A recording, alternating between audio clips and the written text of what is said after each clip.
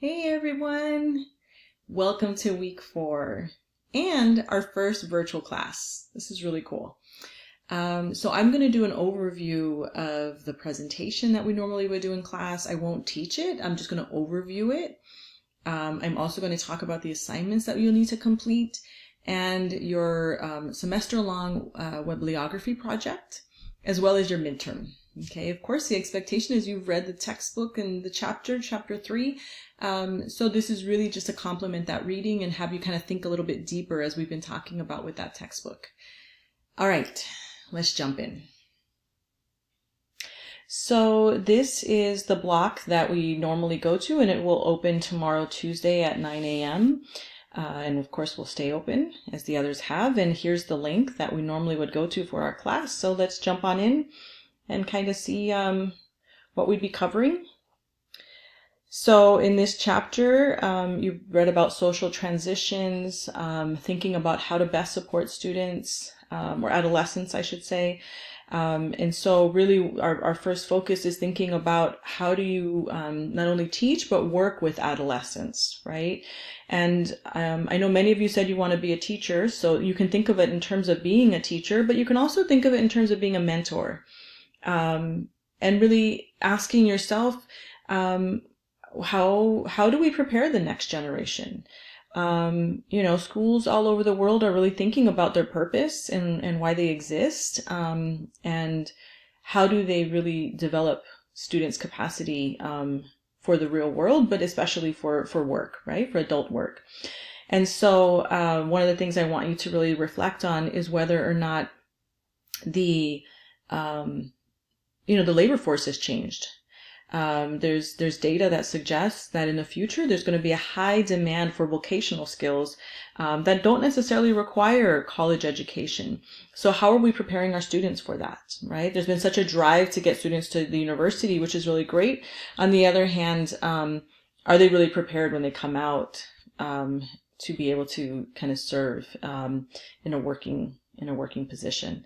Um, so I really want you to think about these transitions and, and what this demands of us as the adults in their lives. Um, because remember, there's a huge disruption in society in the way that we did once did things and the way that we need to do them now. And really asking yourself, what are the skills needed for the 21st century? Um, a lot of schools are asking this question. They're asking, how do we create an environment that supports the fostering and development of these skills, right? And so I want you to watch this video that talks about um, startup companies and the kind of culture that they create that allows um, employees to be very innovative.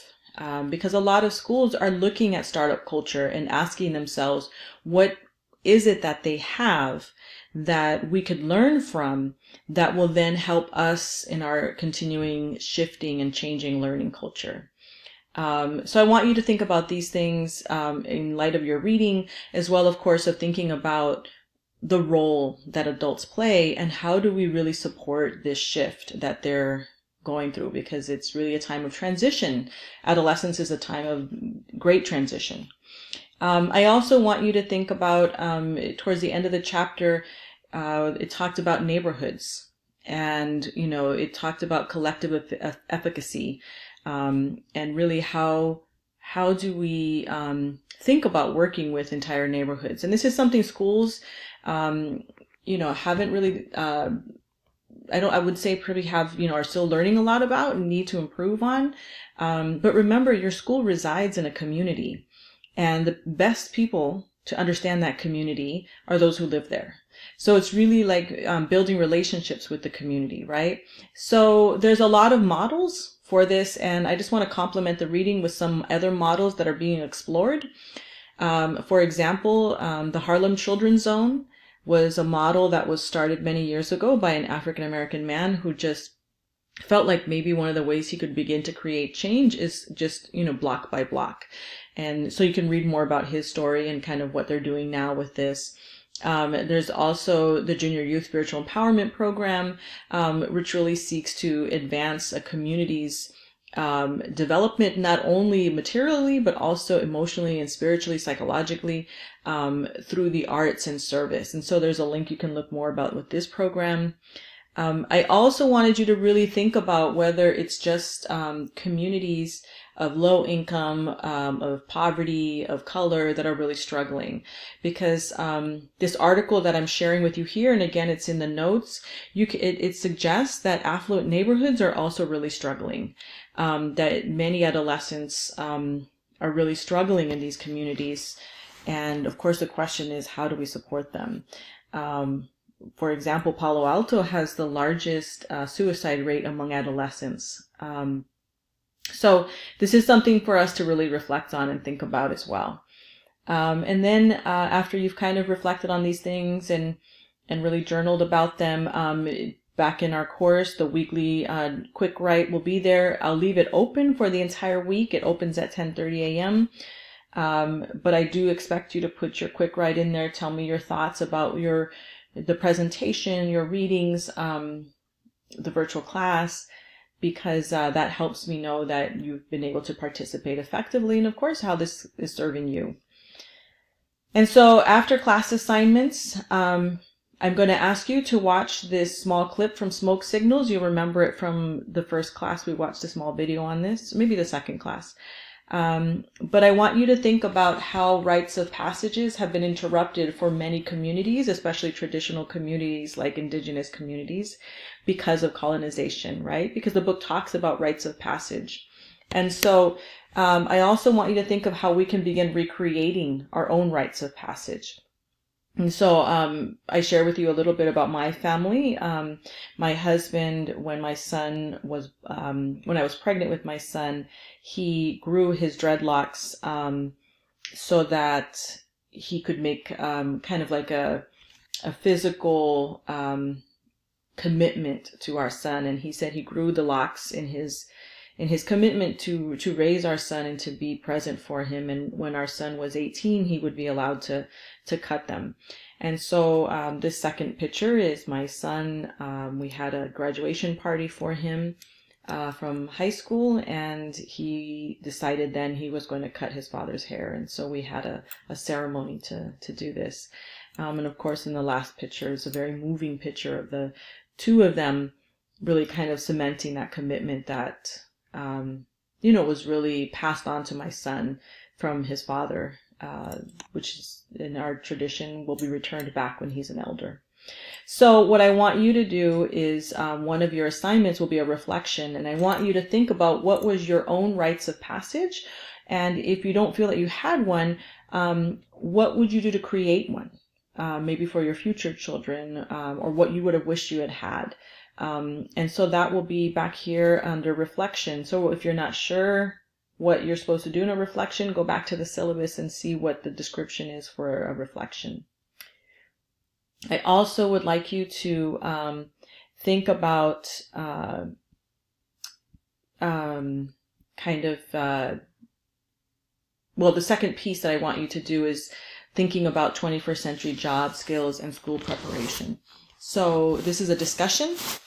Um, you're going to, if you look back in Titanium, you'll see there's a video. You're going to watch this video about um, success in the new economy, which was created by a friend of mine who works at um, community colleges.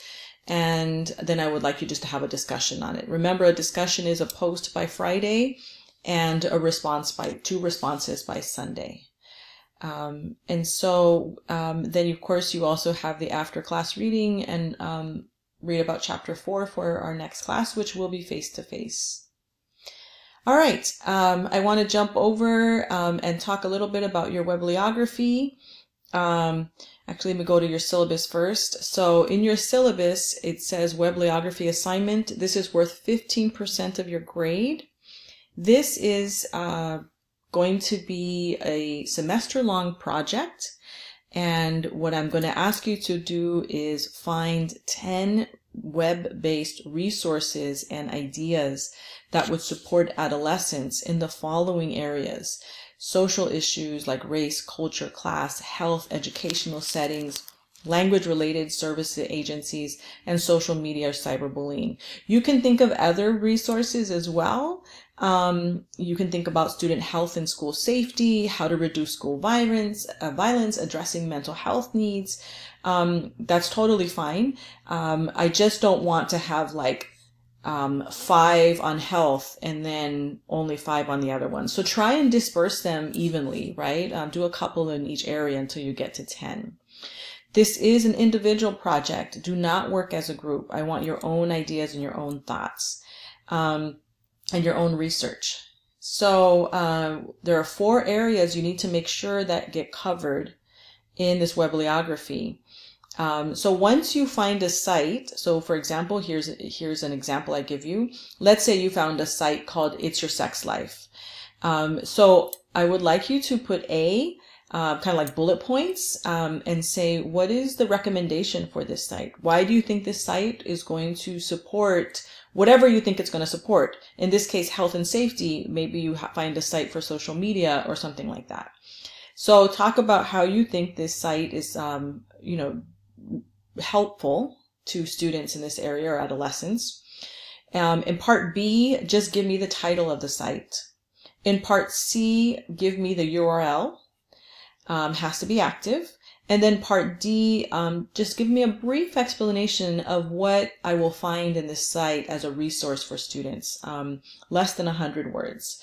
Uh, and please do not copy and paste their description. I want your thoughts about um, how this will support um, adolescents uh, and what resources adolescents and their families would find. Uh, so I'll have more, um, I'll have the sample available for you as well throughout the semester to kind of look back on. And then finally, I want to talk a little bit about your midterm as it'll be coming up. Uh, this is 20% of your grade. And in your midterm, what you're going to be thinking about is um, how are we developing active agents of learning, right? Um, adolescents are often thought of as rebellious or difficult. Um, and what I'd like you to do is create a multimedia presentation. You can use PowerPoint, Google Slides, Prezi, um, Animoto, some kind of multimedia presentation in which you're going to take the concepts that you've learned so far and demonstrate how um, uh, the full potential of adolescence has been misunderstood. Um, and so think about who is your audience and then build your presentation to address that audience. So for example, if you're talking to uh, teachers, what strategies or concepts do you want teachers to understand that will help them work more effectively with adolescents in order to make them active agents of their own learning? Um, maybe you're talking to parents um, what are some ways in which you can help parents be um, more effective at working with their adolescents? Um, this is the statement I want you to center your work around. Uh, trust in the capacity of this generation to disentangle itself from the embroilments of a divided society. So that's what we're saying. We're saying adolescents have the capacity to really um, change the society from a divided society into one that's more cohesive and unified. Uh, so I want you to really think about this, reflect on this. You have a few weeks before this is due. Um, I will put out a rubric soon and, um, and, and give you, and if you look in our schedule, you'll see the due date for, for your midterm. It's on the sign up sheet for uh, student presentations. All right. So with that, I'm going to um, say good luck and I will see you next week. Of course, I'll still be available online, so please uh, send me messages, send me an email, um, any questions, any confusions, and um, I'll, I will definitely make sure that I make myself available to you. Okay, all right. I will see you guys next week. Bye.